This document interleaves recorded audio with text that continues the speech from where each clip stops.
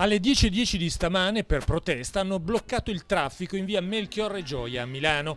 La CGL del capoluogo lombardo e della Lombardia, insieme a molti lavoratori delle aziende in crisi, hanno manifestato davanti alla sede della giunta regionale, circa un migliaio i lavoratori presenti.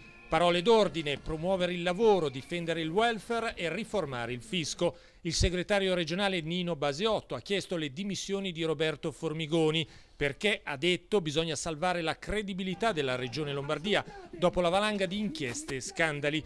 La manifestazione prevedeva anche un palco con cantanti orchestra che intonavano motivi popolari, ma alcuni lavoratori cassi integrati o licenziati hanno contestato questa, a loro dire, deriva della manifestazione, chiedendo invece di lasciar perdere le esibizioni canore e di poter discutere i numerosi problemi del mondo del lavoro. Il nostro problema cos'è? Che siamo stati licenziati da dicembre presidiamo dalla, da luglio, da dieci mesi, giorno e notte.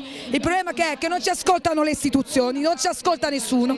A noi, parecchia gente, siamo, siamo giovani, abbiamo solo un anno, non sappiamo cosa fare, ci siamo rotti. Non si può venire qua e sentire che ci dobbiamo rallegrare con le, con le canzoni delle feste dell'unità.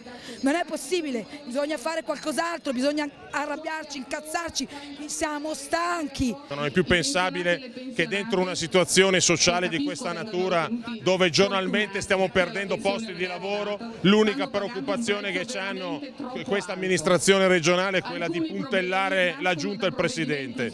Chiediamo quindi una forte discontinuità, che la politica torni a fare il proprio mestiere e pensiamo che per poterlo fare qui si debba più presto andare anche al voto.